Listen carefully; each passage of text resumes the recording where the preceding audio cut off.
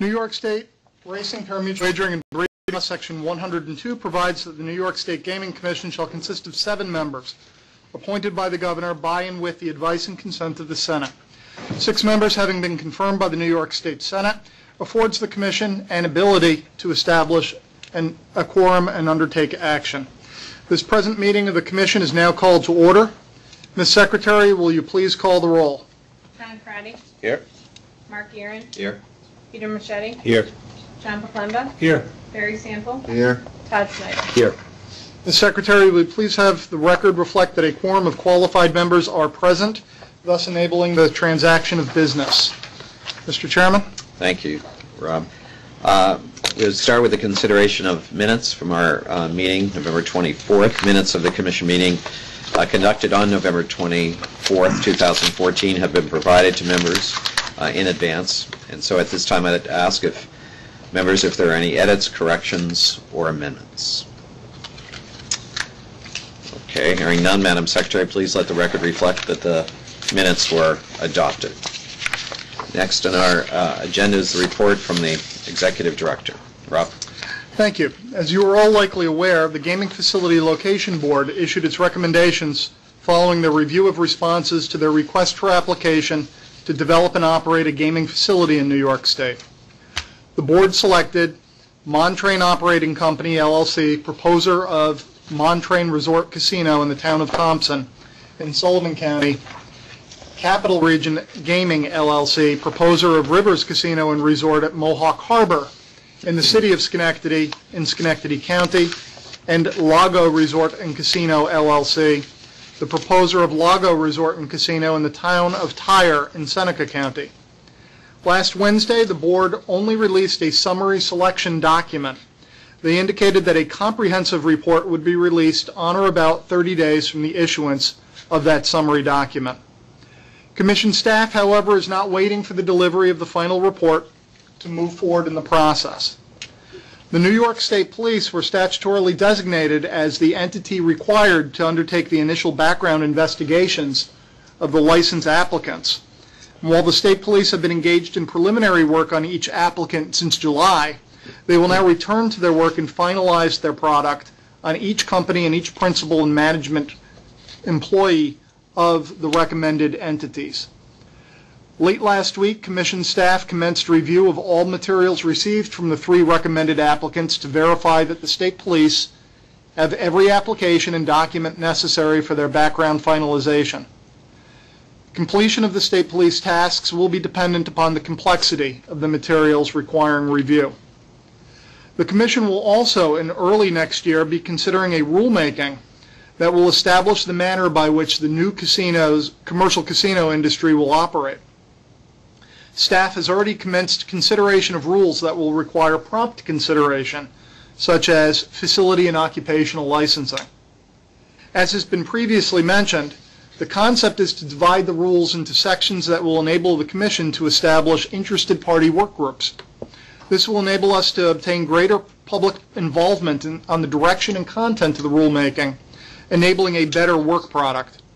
We've publicly, publicly mentioned work groups for problem gambling and for accessibility. Other work groups will be established as staff identifies logical themes. Both legal staff and the Division of Gaming have commenced development of a rule outline and have undertaken research on various jurisdictions' approach to gaming regulation. It is likely at the January meeting, we will see our initial uh, rulemaking proposals or structure for the upcoming uh, rules themselves. Uh, In secret, you're all aware that the commission is an interested party in each of the SEQR reviews undertaken by the casino license applicants. As an involved agency, the commission must review the environmental impacts, the final environmental impact statements for each of the selected applicants and either adopt the findings of the SEQR lead agency, which has usually been the town where the gaming facility site is located, and/or provide a summary of our own findings. The SEQR process is completed once the lead agency and all involved agencies have adopted or provided their own findings based on the final environmental impact statements. Staff has already engaged personnel from the Department of Environmental Conservation and will tomorrow have a conversation that will lead to a fuller understanding of our duties and responsibilities under SEQR. Once we have a better understanding, we will provide a memo outlining the expected scope of the Commission's work. Finally, the Commission staff has a tremendous amount of materials that were submitted in both the RFA uh, process or created in the Gaming Facility Location Board review. Please let me know if there's any materials that you would like in advance for your own review as we go down this process. Great. Thank you. Thank you, Mr. Williams, and thank you and your staff for all the hard work, as well as to the members of the Gaming Facilities Location uh, Board for, for all of their efforts. Um, We next turn to uh, rulemaking on our agenda, New York State Racing Parimutuel Wagering and Breeding Law 104.19 authorizes the commission to promulgate rules and regulations that it deems necessary to carry out its responsibilities. To that regard, the commission will from time to time promulgate rules and rule amendments pursuant to the State Administrative Procedure Act. And today, we have 12 rulemaking items uh, for consideration. And Mr. Williams will outline the proposals. The first item, 4A, is relative to emergency and proposed rulemakings concerning the Jockey Injury Compensation Fund. This has become moot over this weekend due to the filing of an acceptable 2015 plan. Items 4B through 4L all regard harness racing. In November 2013, the Commission proposed a variety of rules designed to protect the integrity of the parimutuel wagering system and the health and safety of standardbred horses engaged therein. Specifically, the Commission has considered amending its existing rules to create regulatory thresholds for 16 to perhaps as many as 24 drugs that have widely accepted beneficial effects and can be effectively regulated by means of laboratory thresholds. The adoption of some or all of these same thresholds is occurring at other racing commissions throughout the nation. Other proposed amendments related to the Commission's rules restricting the time period after various drug treatments before a horse may participate in a race, and rules relative to specific drug utilization. These proposals are necessary to harmonize the rules which forewarn a trainer when to stop using each particular drug with the new thresholds. The proposed rules were the subject of a public hearing conducted January 21, 2014. Information received at the hearing resulted in reconsideration of the rules relative to the regulation of corticosteroids and clenbuterol in standardbred racing. The Commission had divided its cortico- corticosteroid rulemaking initially into three separate proposals, and Commission staff now recommends the adoption of one of these proposals.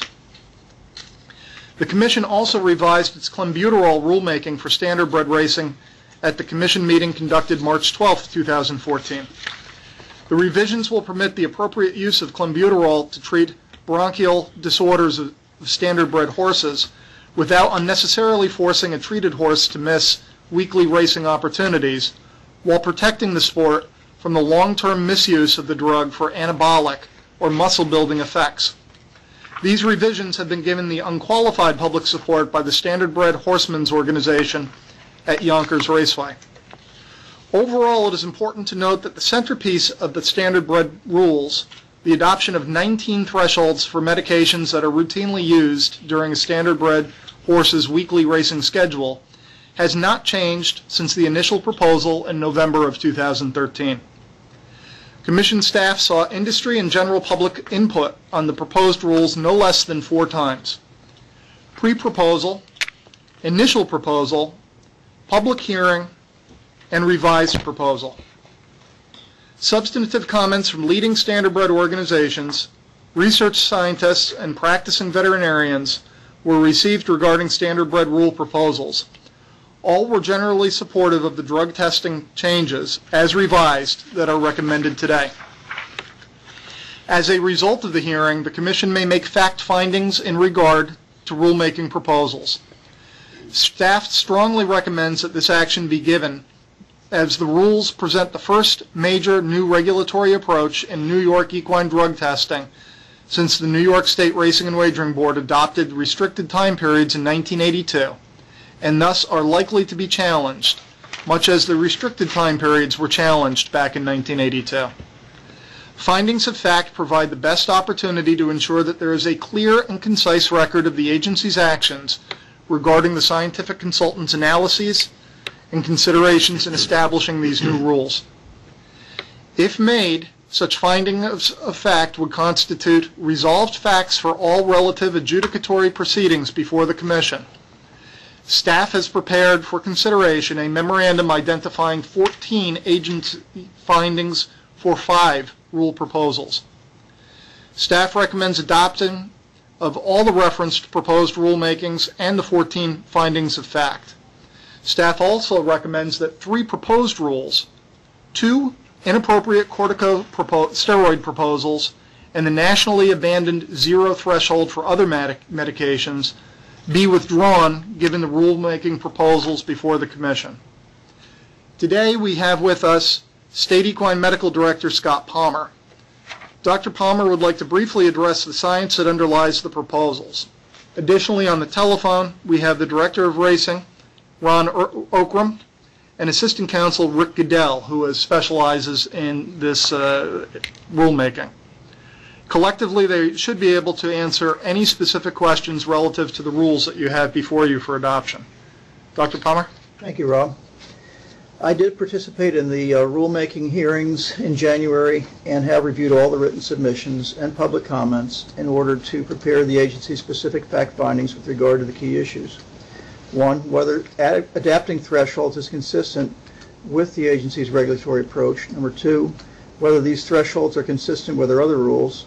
Number three, whether we have proposed appropriate adjustments to our restricted time periods to accommodate adopting the national thresholds. Uh, Dr. George Maylin, longtime director of the New York State Drug Testing and Research Laboratory, has also reviewed these findings and the draft, uh, and the- reviewed these issues and the draft findings. We both are sure that these findings represent the the uh, the knowledge of the industry, having had input, the institutional knowledge of the commission, and that these findings are accurate and sufficient as set forth for the commission fact finding for adopting these proposed rules. I personally support this approach to regulating medication and harness racing, and it's my own professional opinion that adoption of these rules is of critical importance to New York State horse racing. Adoption of these rules will position New York as a leader in, the con- in concert with our neighboring mid-Atlantic states in establishing uniform medication rules for standardbred horse racing throughout North America. These harness rule proposals are substantially the same as the thoroughbred rules adopted by the Commission in November. The harness rule proposals differ from the recently adopted thoroughbred rules only with regard to regulation of clenbuterol and intra-articular and, and corticosteroids. These differences reflect the Commission's efforts to address unique differences in which these two breeds are trained and raced. The harness clenbuterol regulation will accomplish the same goal as of the thoroughbred rule, which is to regulate the off-label use of clenbuterol as an anabolic or repartitioning agent while still permitting its use to treat respiratory conditions under the direct supervision of a veterinarian. This has been accomplished by adding additional language to require direct supervision of a veterinarian and limiting the duration of treatment to that appropriate for the management of respiratory conditions, that is about approximately a two-week limitation for daily treatment. The thoroughbred corticosteroid rules were proposed in one package because there was strong nationwide consensus for adoption of these rules in a uniform and timely fashion. And there was a priority to reduce the use of intra-articular corticosteroids, particularly methylprednisolone, in order to help reduce the number of catastrophic injuries in thoroughbred racehorses.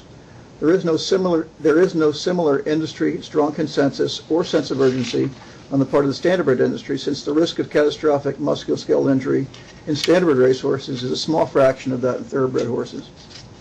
The Racing Medication Testing Consortium position statement on corticosteroids states that though needless degeneration of joints aided by injudicious use of corticosteroids is a long-term concern with the use of corticosteroids, it is the masking of the potential for catastrophic injury by the presence of pharmacologic concentrations of corticosteroids sufficient to hide early anatomic disruption that is of most concern. This is less of a concern with standardbred horses because they do not experience the same degree of fatal musculoskeletal injury as do the thoroughbred horses. The Commission staff is recommending adoption of only one of the three harness corticosteroid proposals at this time. The strict regulation of methylprednisolone in standardbred racehorses is proposed for adoption at this meeting for the same reasons as were cited for the adoption of thoroughbred methylprednisolone regulations in November. In November, the Commission approved recommendations for strict regulation of betamethasone and triamcinolone in thoroughbreds after the commission used an ESAL program, that's the Equine Steroid Administration Log, to gather data on the use of these medications. A similar approach is recommended for regulation of these drugs in standardbred racehorses. This is the reason for proposing the ESAL reporting of corticosteroid regulations in standardbred horses at this meeting. This process will then give the commission the opportunity to study the use of these corticosteroids in standardbred horses before making a final recommendation. Because adoption of these rulemaking proposals represent a significant change in our approach to regulating certain classes of medication, it's important for the commission to set a date for adoption that provides ample opportunity for licensees to prepare for these rule changes and take steps to comply with them. We recommend that these rules be adopted, take effect on April 1, 2015. We will announce these changes and provide guidance to horsemen and veterinarians on the commission website in the same manner as we did for the recently adopted thoroughbred rules. Since the last commission meeting, we have used email broadcasts to inform licensees of these rule changes. We anticipate the use of social media to further expand our communication and education efforts in the near future. Thank you. Great. Thank you, Doctor. Any questions for Palmer or Ron or Rick are also on the phone? Any discussion or questions? We've had materials in advance. but- We're- We're, are we adopting the- the findings as well? Is that what's being asked of us? At, at this moment, right now, it's just a, it- there's nothing in front of you, but I believe the chairman will be asking for a motion to adopt the rules B through I. The findings is a separate motion that he would be asking for Today? today. And I'm- I'm- I, I thought I heard you say that you concurred with and were confident in the, uh, the scope of the findings? Is that right, Yes. Doctor? That's correct. Any other questions? Well, um, I would entertain then a motion to adopt the rules listed as items 4B through 4I. Per se regulatory standard bred thresholds for equine drugs. Per se regulatory standard bred threshold and restricted time period for flunixin. Per se regulatory standard bred threshold and restricted time period for DMSO restricted time period for standard bred furosemide use, restricted time periods for clenbuterol use on standard bred horses, restrictions on the use of clenbuterol in standard bred racing, reporting of standard bred corticosteroid joint injections to the commission, and limiting the use of the corticosteroid methylprednisolone acetate and standard bred racing. Those uh, various rules 4B through 4I for a motion uh, for adoption. So Is there a second? Second. Thank you. Any discussion on the motion? All in favor? Say Aye. Opposed? The motion carries. Next, uh, are there any questions on the proposed findings of fact? Here. So I would entertain a motion then to adopt the 14 agency findings of fact findings, as fact findings. So moved. Do I have a second? Sure. Great. Any discussion on the motion? All in favor? Say aye. Opposed? Motion carries. As Rob indicated then, uh, I mean, I have a motion to withdraw the three previously proposed rules, two of which were relative to the standards and restricted time periods for certain corticosteroid injections, and the third of which regarded corticosteroid detection thresholds. Thresholds. These rules are listed as items 4J through 4L in your materials. That is per se regulatory standard bred threshold and restricted time period for betamethasone and triamcinolone and acetonide. The second one, per se regulatory standard bred threshold and restricted time period for dexamethasone and prednisolone. And thirdly, per se regulatory standard bred threshold limited to 24 drugs, special corticosteroid rules. Do I have a motion? This is with- withdraw, the- yeah, this is withdraw those, yes. This is withdrawn, yes. Second, Second. discussion on the motion? All in favor? Aye. Opposed? The motion carries. Next is uh, proposed rulemaking. Uh, Mr. Williams, you could discuss the next item on our agenda. Certainly. Item 4M is a new rule proposal that would require specific minimum penalties for multiple medication violations. The new rules are designed to ensure that every state imposes a mandatory minimum penalty whenever a horse person, typically the trainer, reaches a certain level of multiple equine drug violations. At the heart of the proposal is the assignment of a specific number of points for each type of drug violation, along with a minimum mandatory license suspension based on the accumulation of such points within specified timeframes. The proposal is similar in concept to a suspension by the Department of Motor Vehicles of a driver's license when a motorist accumulates a total of 11 points in moving violations within 18 months. Points would remain on the person's license history for a period of time determined by the seriousness of the drug. Based upon how many points have accumulated, a licensee would be subjected to a minimum mandatory penalty enhancement of 30, 60, 180, or 365 days. This rulemaking is recommended nationally by the Association of Racing Commissioners International, and the concept has been widely supported by other non-governmental entities, including the New York Racing Association, the Jockey Club, and the New York Thoroughbred Horsemen's Association. Staff recommends proposal of this rulemaking. Thank you, Rob. Are there any questions uh, relative to this proposal? Okay, I would entertain a motion to propose uh, the rule regarding equine doping multiple violator minimum penalties. Motion. Motion has been made, seconded? Sure. Thank you. Uh, Any Can I just dis- ask about the comment period? When is discussion? that? Certainly. Sure. Once uh, you authorize the proposal, we submit the text and associated documents to the Regulatory Review Unit in the executive uh, branch, and once we get clearance for that, it gets published in the State Register, and then once published in the State Register, it would open up a 45-day comment period. Thank you, Ed. Any other discussion on the motion? It's been made and seconded. Okay, all in favor? Aye. Opposed? The motion carries. Our next uh, item on our agenda, we turn to adjudications, and the commission has six hearing officer reports for consideration today, and uh, Mr. Williams will outline the first case. In the matter of Charlie Amaro, Finger Lakes 55, 2014.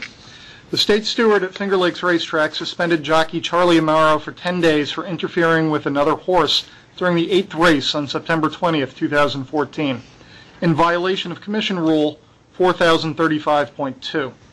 Following Mr. Amaro's appeal, a hearing was conducted on October 23, 2014. A hearing officer report and recommendation was delivered on December 10th. It recommended that the suspension be upheld. At a meeting conducted pursuant to the judicial or quasi-judicial proceedings exemption of the New York Public Officers Law, Section 108.1, the commission considered this matter. The commission uh, duly deliberated and considered this matter and determined upon a unanimous vote uh, to sustain the hearing officer's report and recommendations. Next. In the matter of Charlie Amaro, Finger Lakes 67, 2014, the state steward at Finger Lakes Racetrack suspended jockey Charlie Amaro for 10 days for interfering with another horse during the fourth race on October 24, 2014, in violation of Commission Rule 4035.2. Following Mr. Amaro's appeal, a hearing was conducted on November 14, 2014. A hearing officer report and recommendation delivered on December 11, 2014, recommended that the suspension be upheld. At a meeting conducted pursuant to the judicial or quasi-judicial proceedings exemption of the New York Public Officers Law, Section 108.1, the commission considered this matter. The commission duly deliberated and considered this matter and determined upon a unanimous vote to sustain the hearing officer's report and recommendations. Next. In the matter of Jose Baez, the state steward at Finger Lakes Racetrack suspended jockey Jose Baez for 10 days for interfering with another horse during the second race on July 21, 2014, in violation of Commission Rule 4035.2. Following Mr. Baez's appeal, A hearing was conducted on August 20th, 2014. A hearing officer report and recommendation delivered to the Commission Secretary on December 10th, 2014, recommended that the suspension be upheld. At a meeting conducted pursuant to the judicial or quasi-judicial proceedings exemption of the New York Public Officers Law, Section 108.1, the Commission considered this matter. The commission duly deliberated and considered this matter and determined upon a unanimous vote to sustain the hearing officer's report and recommendations. Next. In the matter of disqualification of Always For You, on August 24, 2013, the stewards at Finger Lakes Racetrack disqualified the horse Always For You following a riding foul in violation of Commission Rule 4035.2D. Always For You finished seventh in the race, or finished the race, seventh race in first place, but was placed fifth by the judges pursuant to Rule 4039.20. Luis Guti- Gutierrez, the owner of Always For You, appealed the disqualification. At a hearing, Commission Counsel moved to dismiss the appeal on the grounds that the disqualification decision was within the discretion of the stewards. Such factual judgments of the stewards are not the proper subject of an appeal, and that there were no genuine issues of material fact to be determined by a hearing concerning a mistake of law, ministerial error, or fraud. The hearing officer report and recommendation was delivered to the Commission Secretary on December 10, 2014. The hearing officer recommended that the Commission construe Commission Counsel's motion as a motion for summary judgment, grant the motion, and sustain the steward's placement decision. At a meeting conducted pursuant to the judicial or quasi-judicial proceedings exemption of New York Public Officers Law, Section 108.1, the Commission considered this matter. The commission duly deliberated and considered this matter It determined upon a unanimous vote to sustain the hearing officer's report and recommendations. Next, please. in the matter of the disqualification of Kisses and Kicks. On May 28, 2014, the judges at Buffalo Raceway disqualified the horse Kicks- Kisses and Kiss- Kicks for interference and violation of Commission Rule 4117.4E. E. Kisses and Kicks finished the ninth race in fourth place, but was placed sixth by the judges pursuant to Rule 4117.12A. David P. McKnight Jr., the owner and trainer of Kisses and Kicks, appealed the decision. At a hearing, Commission Counsel moved to dismiss the appeal on the grounds that the judge's placement decisions are not appealable as a matter of law except for fraud, material mistake of fact, or mistake of law, and that there were no genuine issues of fact to be determined. The hearing officer report and recommendation was delivered to the Commission Secretary on December 12, 2014. The hearing officer recommended that the Commission construe the Commission Counsel's motion as a motion for summary judgment, grant the motion, and sustain the steward's, I'm sorry, the judge's placement decision. At a meeting conducted pursuant to the judicial or quasi-judicial proceedings exemption of the New York Public Officers Law, Section 108.1, the Commission considered this matter. And the commission duly deliberated and considered this matter and determined upon a unanimous vote to sustain the hearing officer's report and recommendations. Next. In the matter of Pedro Rodriguez, on September 23, 2014, the state steward at Finger Lakes Racetrack suspended jockey Pedro Rodriguez for seven days for interfering with another horse during the eighth race, in violation of Commission Rule 4035.2. Following Mr. Rodriguez's appeal, a hearing was conducted on October 23, 2014. The hearing officer's report and recommendation was delivered to the Commission Secretary on December 10, 2014. The hearing officer recommended that the suspension be upheld.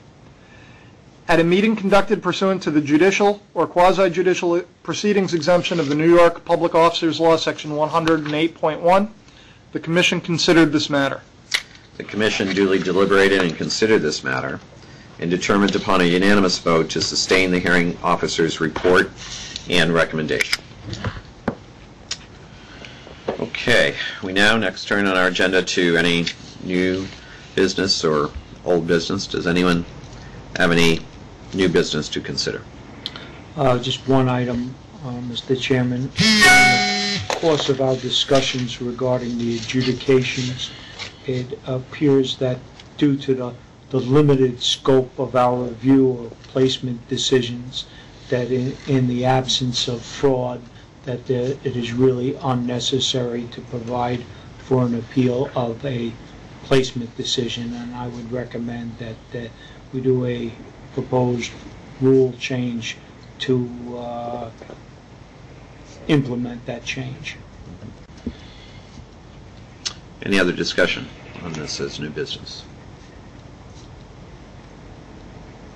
So, Mr. Williams, you have that before you? Thank you. We will, we will undertake a review of that and get something for the next meeting. Thank you. Any old business to consider? Uh, Anything else? Well, next, uh, for scheduling our next meeting, uh, given that our meeting concludes um, our calendar year, 2014, um, unless anyone objects, I suggest that we maintain the present schedule of our meetings on the fourth Monday of every month. This would bring our next meeting for, to January 26, 2015.